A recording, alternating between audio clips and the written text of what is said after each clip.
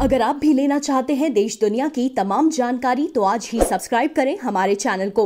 साथ ही नीचे दिए बेल आइकन को ज़रूर दबाएँ ताकि हर अपडेट आप तक पहुँच सके।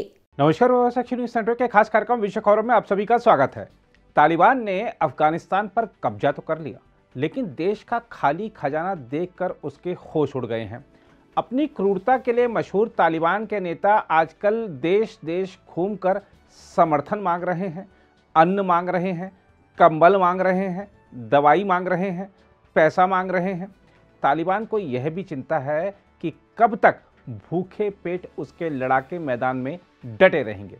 तालिबान के सामने एक और आईएस के बढ़ते आतंकी हमलों को रोकने की चुनौती है तो दूसरी ओर भूख और सर्दी से बेहाल जनता की मदद कैसे की जाए, यह उसके समझ नहीं आ रहा है। अमेरिका ने भले अफ़गानिस्तान को अधर में छोड़ दिया हो, लेकिन संयुक्त राष्ट्र समेत अंतर्राष्ट्रीय समुदाय अफ़गानिस्तान की जनता की बेहाली को देखते हुए उसकी मदद के लिए आगे आ रहा है। वाकई, यह मदद जल्दी नहीं की गई तो अफ़गानिस्तान के हालात और बदतर हो जाएँगे। इसी बीच, भारत सरकार ने अफ़गानिस्तान में तालिबान के नेतृत्व वाली अंतरिम सरकार से बातचीत करनी शुरू कर दी है, लेकिन इस बातचीत से पाकिस्तान घबरा गया है। पाकिस्तान का घबराना स्वाभाविक भी है, क्योंकि उसकी योजना थी तालिबान के ज़रिए कश्मीर में आतंकवाद फैलाने की। लेकिन तालिबान को भी अच्छी तरह समझ आ रहा है कि अफ़गानिस्तान की मुश्किल समय में मदद भारत ही कर सकता है। इसलिए तालिबान सरकार के प्रतिनिधियों ने भारत से वार्ता की है। क्या है अफ़गानिस्तान के मुद्दे पर ताज़ा अपडेट? आइए जरा एक निगाह इस पर डालते भारत तालिबान ने क्या बात की? अफ़गानिस्तान की अंतरिम सरकार के उप प्रधानमंत्री अब्दुल सलाम हनफी के नेतृत्व में तालिबान के एक उच्च स्तरीय प्रतिनिधिमंडल ने रूस की राजधानी मॉस्को में एक भारतीय प्रतिनिधिमंडल से मुलाकात कर विभिन्न महत्वपूर्ण मुद्दों पर चर्चा की।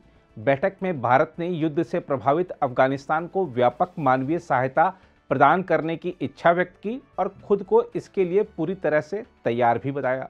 रिपोर्टों के मुताबिक विदेश मंत्रालय के पाकिस्तान, अफ़गानिस्तान, ईरान प्रकोष्ठ के संयुक्त सचिव जेपी सिंह के नेतृत्व में भारतीय प्रतिनिधिमंडल ने तालिबान के नेताओं से मुलाकात की। भारतीय प्रतिनिधिमंडल रूस के निमंत्रण पर बैठक में भाग लेने के लिए वहाँ गया था। माना जा रहा है कि भारत के पुराने और सबसे भरोसेमंद दोस्त रूस ने ही नई दिल्ली को तालिबान से वार्ता के लिए मनाया था।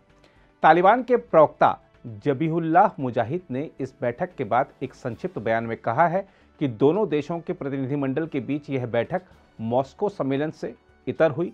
हम आपको भी बता दें कि तालिबान के साथ भारत का पहला औपचारिक संपर्क 31 अगस्त को दोहा में हुआ था। हालाँकि इस सप्ताह बुधवार को हुई यह बैठक तालिबान द्वारा पिछले महीने अंतरिम मंत्रिमंडल की घोषणा के बाद दोनों पक्षों के बीच पहला औपचारिक संपर्क था। भारत विगत में भी अफ़गानिस्तान को बुनियादी ढांचे के साथ साथ मानवीय सहायता प्रदान करता रहा है और अब खाद्यान्न की मदद कर सकता है। इस बैठक के बारे में तालिबान के प्रवक्ता जबीउल्ला मुजाहिद ने कहा कि दोनों पक्षों ने एक दूसरे की चिंताओं को ध्यान में रखने और राजनयिक तथा आर्थिक संबंधों में सुधार करने की आवश्यकता पर भी ज़ोर दिया। अब भारत और क्या करेगा? अब भारत सरकार ने नवंबर में अफ़गानिस्तान के मुद्दे पर एक बैठक करने की घोषणा की है। इसके लिए उसने पाकिस्तान, ईरान, उज्बेकिस्तान, ताजिकिस्तान, चीन और रूस के सुरक्षा सलाहकारों को आमंत्रित किया है। हालाँकि, अभी यह देखना बाकी है कि पाकिस्तान इस निमंत्रण को स्वीकार करता है या नहीं। साथ ही यह भी देखना होगा कि राष्ट्रीय सुरक्षा सलाहकारों की इस बैठक में क्या कोई बड़ा फैसला हो पाता है।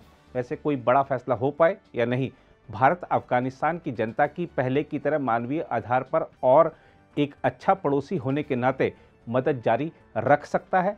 तालिबान भी जानता है कि और कोई देश जो एक रुपए की भी मदद दे रहा है, उसका कोई ना कोई स्वार्थ है, लेकिन भारत तब भी निस्वार्थ भाव से मदद करता रहा जब अफ़गानिस्तान में लोकतंत्र था और अब भी अन्न के लिए तरस रही अफगान जनता की मदद के लिए आगे आया है, जब तालिबान का शासन है। पाकिस्तान के होश क्यों उड़े हुए हैं? दूसरी ओर पाकिस्तान, भारत और तालिबान की बैठक की खबरों से इतना घबराया कि उसके तो जैसे होश ही उड़ गए। इस बैठक के अगले दिन ही पाकिस्तान के विदेश मंत्री शाह महमूद कुरैशी और खुफिया एजेंसी आईएसआई के प्रमुख फैज हमीद भागे भागे तालिबान के नेतृत्व वाली अफ़गानिस्तान की अंतरिम सरकार के साथ वार्ता करने के लिए काबुल पहुँच गए। इस एक दिवसीय यात्रा के दौरान पाकिस्तानी प्रतिनिधिमंडल ने अफ़गानिस्तान के कार्यकारी विदेश मंत्री अमीर खान मुत्तकी और अन्य तालिबानी नेताओं के साथ वार्ता की। पाकिस्तानी नेताओं की इस वार्ता को तेहरान में अगले सप्ताह होने वाली अफ़गानिस्तान और रूस के पड़ोसी देशों के विदेश मंत्रियों की बैठक से पहले काफ़ी अहम माना जा रहा है। रूस ने अब तक क्या किया? वहीं रूस ने भी अफ़गानिस्तान के मुद्दे पर जिस वार्ता की मेजबानी की, उसमें तालिबान और पड़ोसी देशों से वरिष्ठ प्रतिनिधि शामिल हुए। हम आपको बता दें कि रूस ने साल 2003 में तालिबान को आतंकवादी संगठन घोषित किया था, लेकिन इसके बावजूद वह इस समूह से संपर्क स्थापित करने के लिए वर्षों तक काम करता रहा। वैसे इस तरह के किसी भी समूह से संपर्क रखना रूस के कानून के तहत दंडनीय है, लेकिन रूसी विदेश मंत्रालय ने मुद्दे पर विरोधाभास से संबंधित सवालों का जवाब देते हुए कहा है कि अफ़गानिस्तान में स्थिरता लाने में मदद के लिए तालिबान से बात करना आवश्यक है। हम आपको यह भी बता दें कि गत अगस्त में अफ़गानिस्तान पर तालिबान का कब्जा होने के बाद अन्य देशों से इतर रूस ने वहाँ काबुल स्थित अपने दूतावास को खाली नहीं किया और तभी से इसके राजदूत तालिबान प्रतिनिधियों से लगातार मुलाकात करते रहे हैं। मॉस्को फॉर्मेट की बैठक में तालिबान और अफ़गानिस्तान के अन्य गुटों के प्रतिनिधियों के साथ ही चीन, भारत, पाकिस्तान, ईरान और पूर्ववर्ती सोवियत संघ राष्ट्रों के प्रतिनिधि भी शामिल हुए। छवि क्यों सुधारने में लगा है तालिबान? दूसरी ओर, यह भी लग रहा है कि अंतर्राष्ट्रीय स्तर पर समर्थन जुटाने की कवायद में जुटे तालिबान ने अपनी छवि बदलने की योजना बनाई है। इस बात के संकेत इससे भी मिलते हैं कि संयुक्त राष्ट्र के एक वरिष्ठ अधिकारी ने कहा है कि तालिबान ने उन्हें बताया है कि वे जल्द ही यह घोषणा करेंगे कि सभी अफगान लड़कियों को माध्यमिक स्कूलों में पढ़ने की इजाज़त होगी। पिछले सप्ताह काबुल की यात्रा पर गए संयुक्त राष्ट्र बाल कोष यानी यूनिसेफ के उप कार्यकारी निदेशक उमर आब्दी ने संयुक्त राष्ट्र मुख्यालय में पत्रकारों को बताया कि अफ़गानिस्तान के 34 प्रांतों में से पाँच प्रांतों, उत्तर, पश्चिम में बल्क, जोजनान और समंगान, उत्तर पूर्व में कुंदुच और दक्षिण पश्चिम में उरोजगान में पहले ही माध्यमिक स्कूलों में लड़कियों को पढ़ने की इजाज़त है।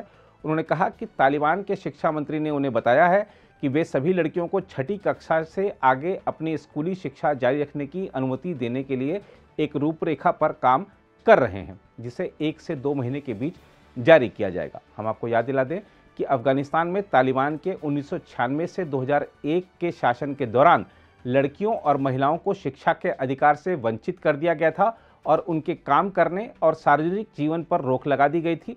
बहरहाल, अब देखना होगा कि अफगान संकट का पूरी दुनिया क्या हल निकालती है और यह भी देखना होगा कि संकट के समय तालिबान जो अपना बदला रूप दिखा रहा है, क्या संकट दूर हो जाने पर कहीं वह अपना पुराना रौद्र रूप तो नहीं अपना लेगा?